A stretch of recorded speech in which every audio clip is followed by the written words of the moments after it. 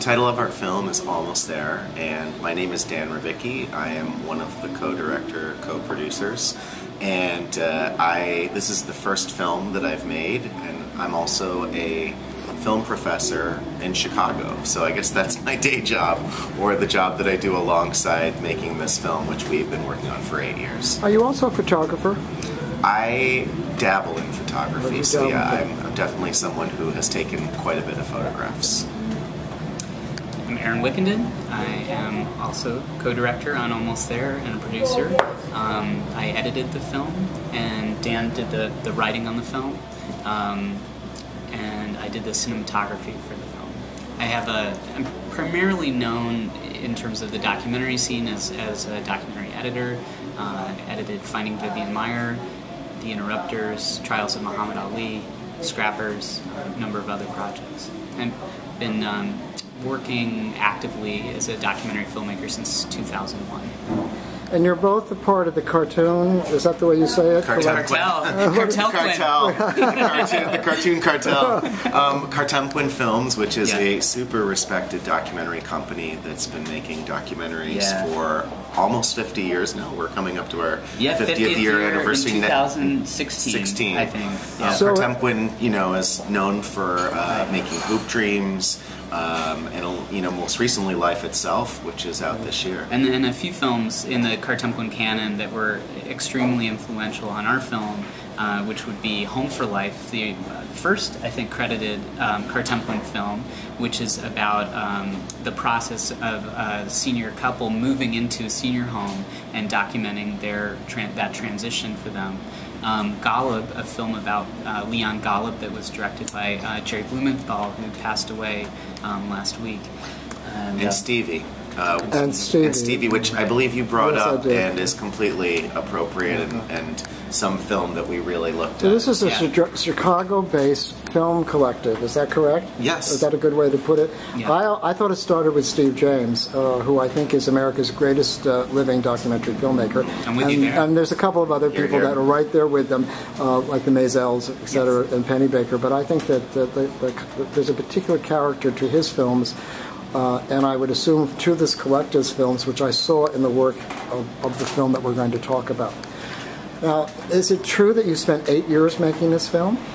Yeah, I mean, you know, when you when you you know, definitely that the film was made over eight years, but it's not like every single day we did nothing but devote ourselves to the project. I mean, I guess we were thinking. But I would it. say there's that, never a you know, moment we- that goes by where we're not thinking about it. Right, and we met the subject in 2006, and I think the first two years was, you know, very much just corresponding and sort of visiting him at a pierogi Photographing. festival and photographing him. But starting in 2008, when we visited his home, I would say that we've worked very steadily That's for these past six years. All right, so let, Yeah. us talk a little bit about the subject. His name is Peter. His name's he Peter Anton. is uh, a s an elder, a senior, Currently an old man, 83-year-old, and an yeah. artist and a weirdo. Sure. Eccentric, Sure, just like us. eccentric. And, Yeah. and in the art world, that is called outsider art. Correct. So, how did you find him, and why were you interested in his particular story? Well, I, I will say how we found him, which is that we went uh, outside of Chicago. There's a uh, festival called Pierogi Fest where um, we went to see the world's largest pierogi and to eat a lot of pierogies. I grew up, I'm Ukrainian and Polish, and uh, my grandmother used to make pierogies for the church. And so we, we, you know, we went out to see the pierogies and meet Mr. Pierogi. Um, and then we, you know, sort of went off of a beaten path, and there at a rickety old table was this rickety old man doing pastel portraits of children. Yeah. And And what- is yeah. that the, you shoot something like that? It's in the film. Is that was the first time you shot him? No, well, actually, no. So that's that's a construction that we put together in the editing room to give you that the audience that sense hard of discovery. All right, let's so, talk a minute about construction in Yeah. a documentary. okay, let's do it. I, you know that uh, is it a trick um, when you when the audience doesn't know? Like I thought you had shot there. I Right. believed it. I just didn't even think about it. Yeah. And uh, and now that I, I heard that's the first time you met him, I thought, Yeah. oh wow, you had your camera out at that Right. point. But from a filmmaker point of view, from a documentary point of view, from an ethical point of view, Right. the the role of construction. I can think of a number of documentaries which I hated because the construction was not valid. Right. So how did you come to decision to construct and and why? Well, the, the film launches, uh, the sort of inciting incident is our meeting with, with Peter. Um, when, when we actually met him, we did have our cameras there. We were doing a lot of still photography, so that's a big part of those op- opening sequences. Um, but we wanted to, to bring the audience in and allow them that same sort of sense of discovery that we were having. And that was going on, you know, in the years that followed. There were, there were so many layers to Peter that, you know, the, the discovery process continues still. So, you know, it didn't seem it didn't seem unethical to take footage from you know the second year when we were there, um, when we still didn't really know the end result of what it would be used for. Capture a lot of footage around Pierogi Fest and the event, and then incorporate that with the photos to sort of tell the story of our meeting. So. I mean, there's definitely cases where where construction or manipulation would feel wrong, but this this felt. I think felt of the. Stonewall documentary where they had a lot of fake construction of things that didn't happen. Right. For Right. example, This all did Yeah, we- happen. we never It just asked happened in a different year. Yeah, and, and all that the footage that is in that scene, it's no, nothing where we were directing him to do this or that so that it would fit into the film in a certain kind of way. It was all kind of verite footage, but just from the second year. How many So, hours did you actually shoot?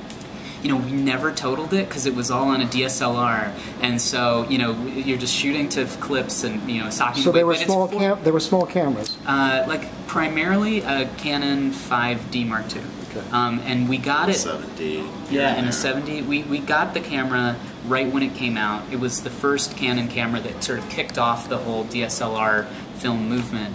And so um, we were, you know, no one really knew how to use it to film at that time. So we were kind of figuring that out at the very beginning of the process as well. One of the things is, that I found really interesting in the film is that the, the, there's a lot of secrets in your film that, that old people don't like people to know, and people don't do know and don't talk about. Yeah.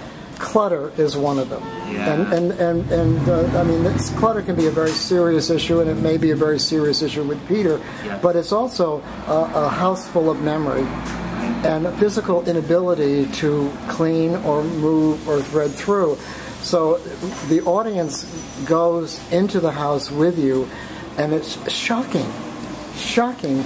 And at one point, you're, you're, you're wearing masks because you discover mold where he's living, and he's wearing nothing. I figure he has elephant genes, you know, nothing touches him. So do we. We still can't now we got him. it. And but just how you, on a personal level, as filmmakers, thought, oh, how do I do this? You know, Right. how do I um, acknowledge that this is really fucked up, Right. quote unquote. Um, and and yet this is this is the environment where where Peter lives and creates. Right. So to just walk us through that that kind of filmmaker. Well, I mean, I think that uh, oh, it's showing is always better than telling, and there were moments where we tried to describe what our reactions were, but we cut a lot of that VO out, and then just kept that shot of us descending into the basement for the first time, so people could experience on a visceral and visual level what we were experiencing.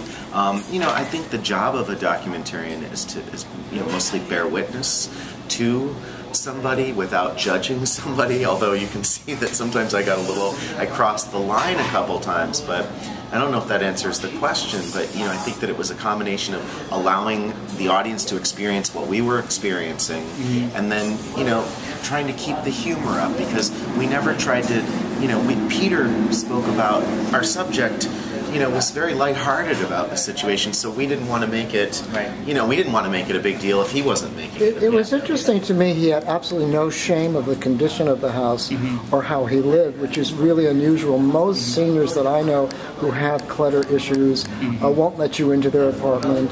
The Department of, of, of, of Services that has to go and protect them, they, they don't want them to let them in.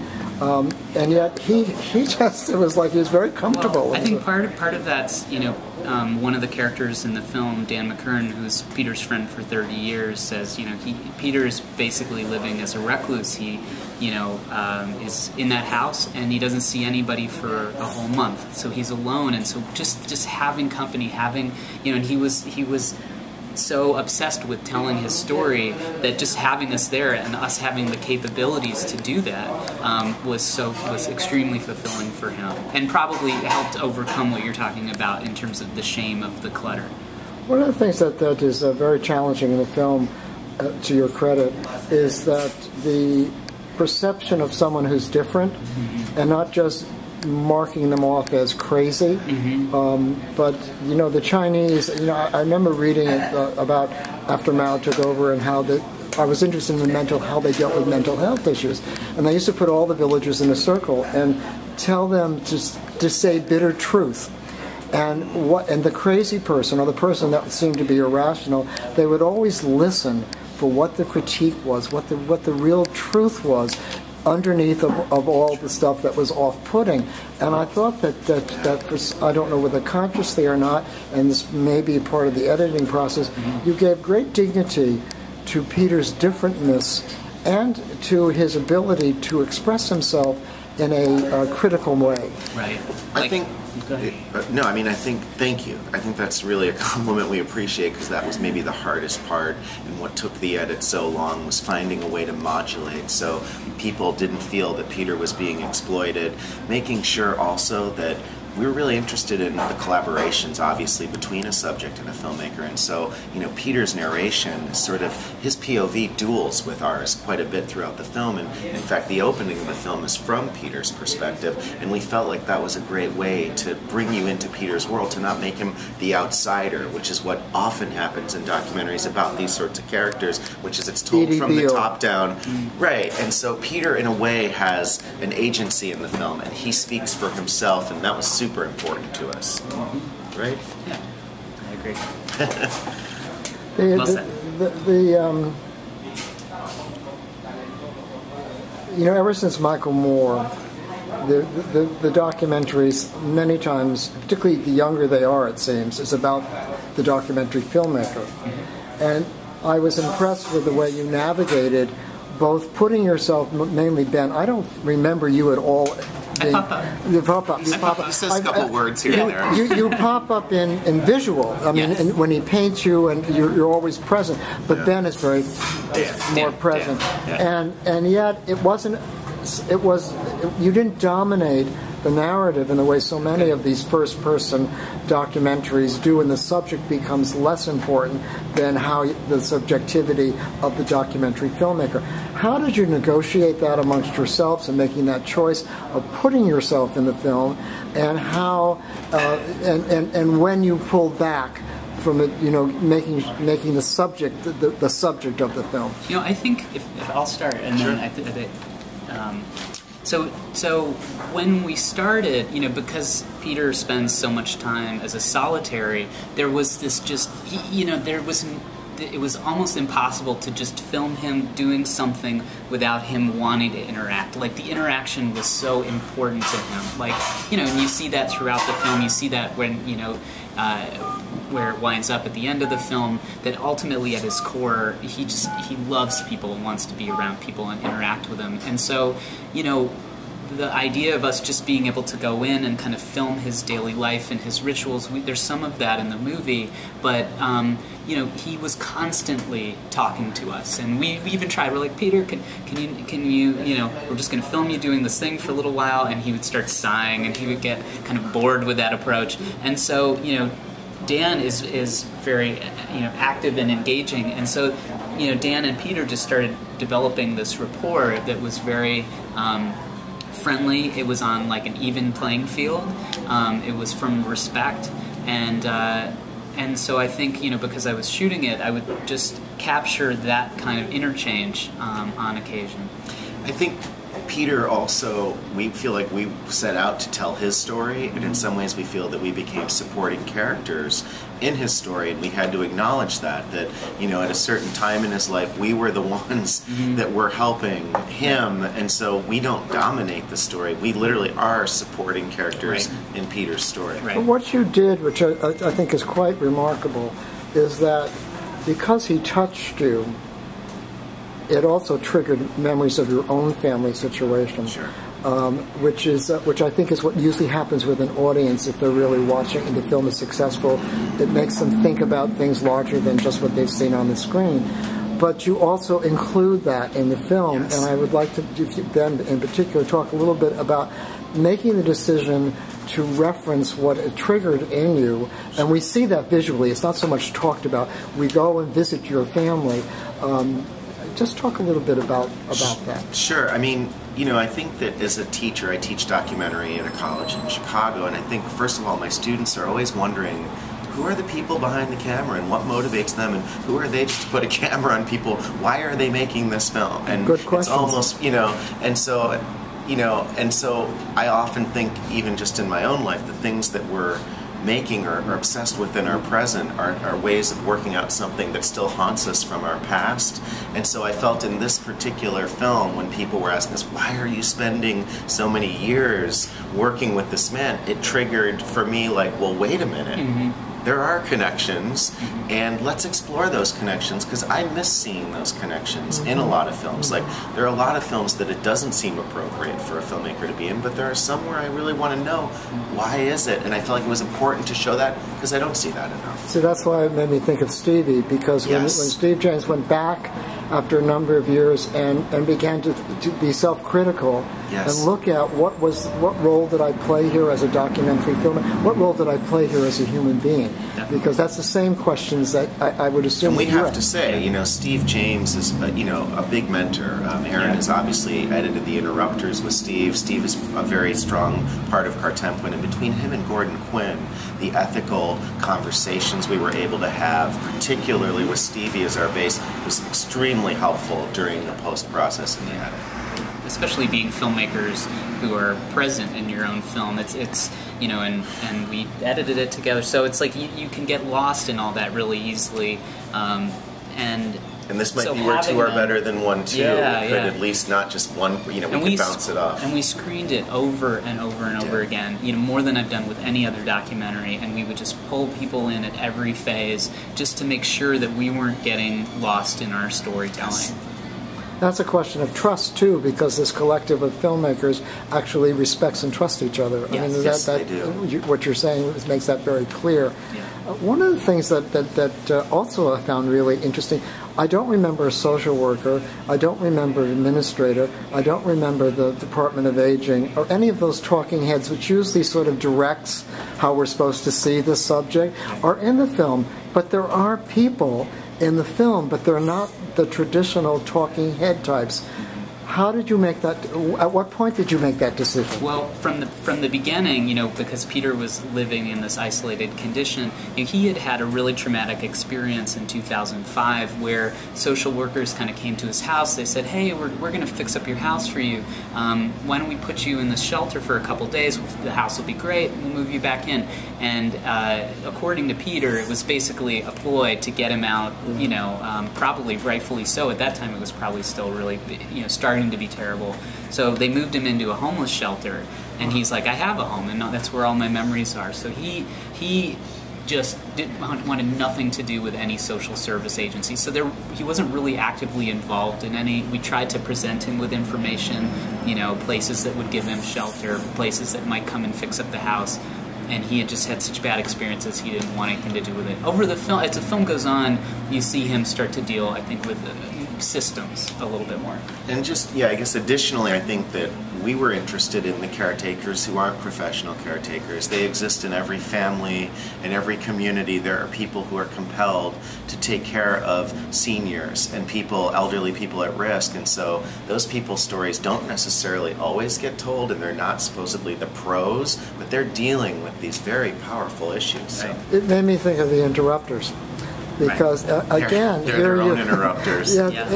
In, in, the interrupters, you have community people that have experienced the trauma or the or, or whatever word is proper about what happens in that urban poverty environment Mm-hmm. uh, of gangs, and try to intervene in a way that the cops and the professionals cannot do. I s it's, uh, so I, you know, I, I just was. There's three. I think I'm going to remember. Maybe the number is wrong, but three Yeah.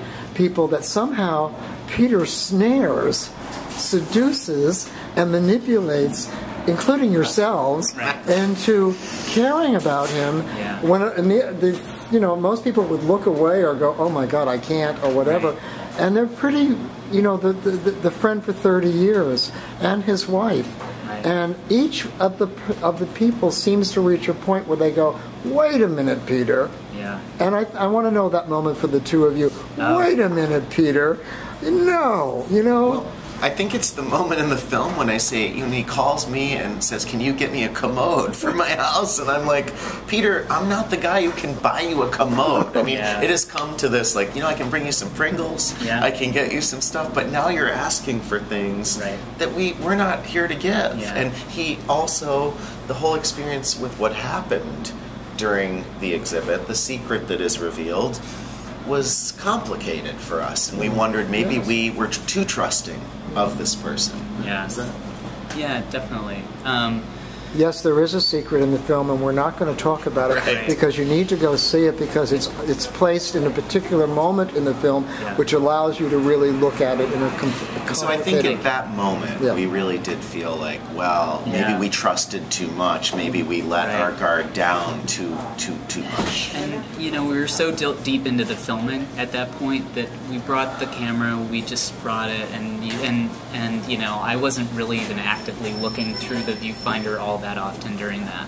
Some some of the more intense moments of the film. Yeah. There's another moment that I found really intriguing. I want you to help me. Yeah. There was this woman that runs a gallery space Cleo called Into Wilson. It. Yeah. Yeah. Uh, that and she was having. She described what an outsider, what outsider art is. Yeah. Can, do you remember what, what she said? Sure. Okay. It's uh, you know, outsider art is people who are creating art outside of the cultural and commercial mainstream.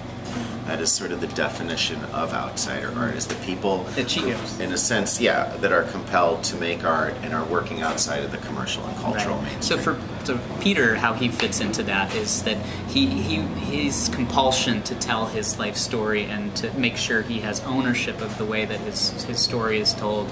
Um, caught, you know, is one of the reasons that he's making all the art that he makes. Um, it's not that he wants to make this scrapbook and then uh, or painting and then sell it for thousands of dollars. In fact, you know, along the way, you know, we would buy a painting and then just give it back to him ultimately because he wanted it in his house in his In fact, when he had a painting in the show at Intuit, he repainted the painting to keep in his home for himself so he could have his art with him. Yeah. Well, see, that's where the mental health issue comes in. Right. And I thought that giving the respect to uh, a person who's different, who has mental health issues, but is functioning, and certainly functioning creatively, Yes. is uh, a, a very important lesson in the Well, film. this started out as a photography project. We showed pic- pic- photographs to people, and people said, "Is he ill?" Mm-hmm. And we said, "Well, geez, you know, he's pretty articulate, and he. Why don't we just start videoing him?" And we put little clips in our exhibit because we were like, "Let him speak for himself. He's. Mm-hmm. You tell us what you think he is. Mm-hmm. You know." Yeah. Uh, At first, I thought, well, maybe he's autistic.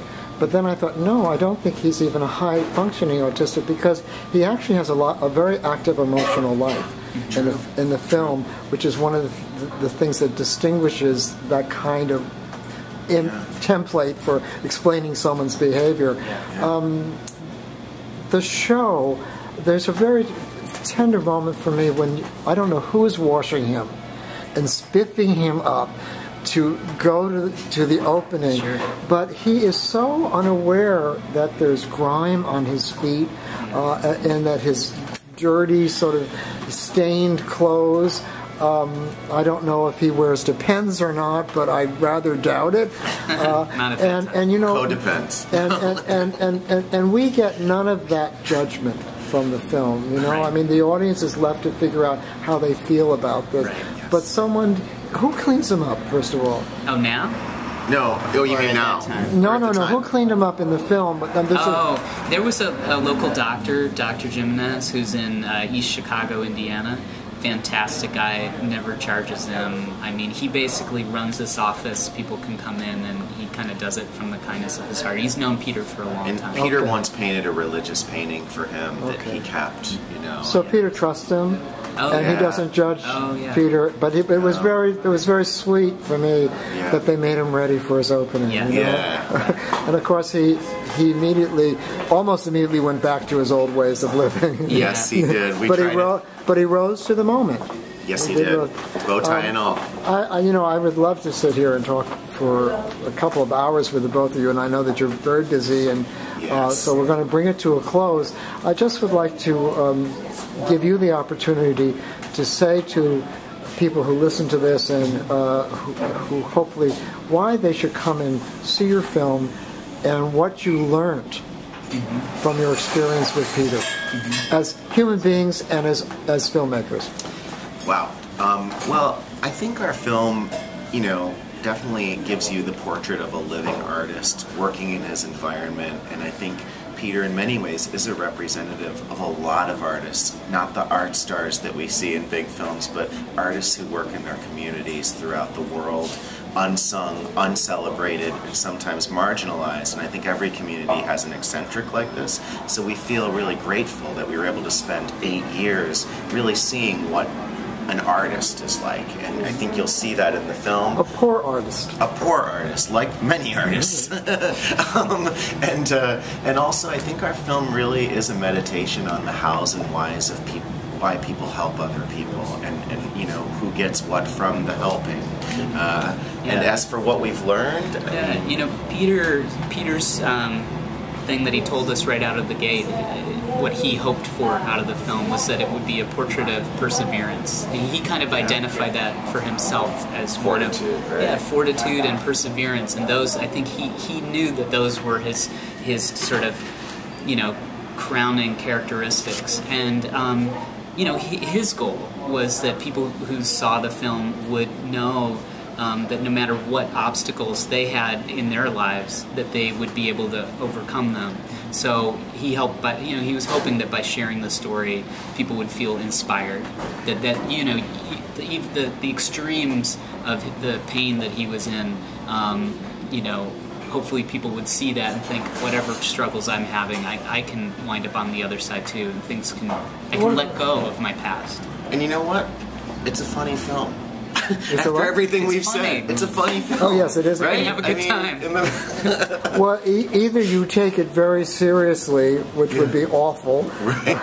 horrible, Yeah. or you understand the human humor in the film, which is how Yes. people get through life. which you is how we took Peter. yeah. That's how Peter gets through life, and we wanted to And celebrate I, that. I also, uh, just two tiny little questions. The, um, you also acknowledge his physical disabilities, and as he aged over the years, that, that he had physical problems that did not destroy his spirit or his uh, output at all, but that that reality was something that both of you had to deal with as filmmakers. Yes. I mean, I think that it was would have been hard to make this film without another person because there were a lot of moments where even in the transportation someone would have to help Peter into the car while someone else was had a camera and held my boom or you know I mean so in that way I think it was really helpful that we were both there And Um, how, how did you decide to end the film?